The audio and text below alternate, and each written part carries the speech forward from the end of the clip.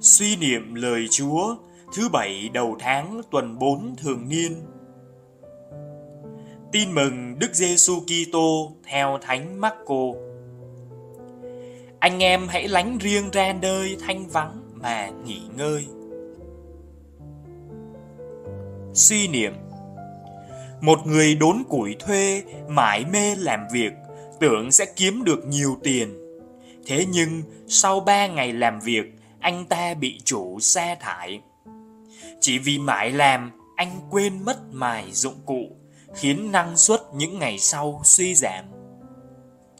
Cũng vậy, đời sống gồm có hai nhịp là hoạt động và nghỉ ngơi, gặp Chúa, thờ phượng Ngài và gặp gỡ, phục vụ con người. Ta không thể nào làm việc với năng suất cao nếu không có thời gian nghỉ ngơi thích hợp.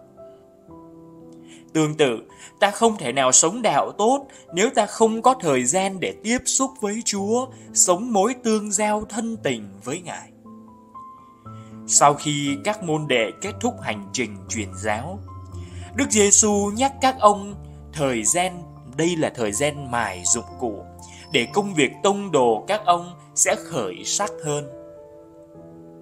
Bạn chỉ có thể phục vụ người khác trong vui tươi và với lòng yêu mến khi bạn tiếp sức với đấng là nguồn sự sống để nhận sức mạnh nâng đỡ của Ngài. Bạn sẽ là môn đệ trung tín của Chúa nếu bạn dành một chút thinh lặng mỗi ngày để nghỉ ngơi với Ngài. Làm sao để chúng ta tạo được sự quân bình giữa hai nhịp điệu của đời sống và đặc biệt là đời sống thiêng liêng? Sống lời Chúa hôm nay, ta hãy xét duyệt lại đời sống của mình, xem tại sao mình hay nóng giận, dễ gắt gỏng và phải chăng mình thiếu thời gian để ở lại riêng tư, tâm sự với Chúa. Lạy Chúa, khi bị rã rời vì trăm công nghìn việc, xin cho con quý chuộng những lúc được an nghỉ trước nhan Chúa. Khi bị sao động bởi những bận tâm và lo âu, Xin cho con biết thanh thản ngồi dưới chân Chúa để nghe lời Ngài. Khi bị kéo ghì bởi đam mê dục vọng, xin cho con thoát được nhờ mang đôi cánh thần kỳ cầu nguyện. Amen.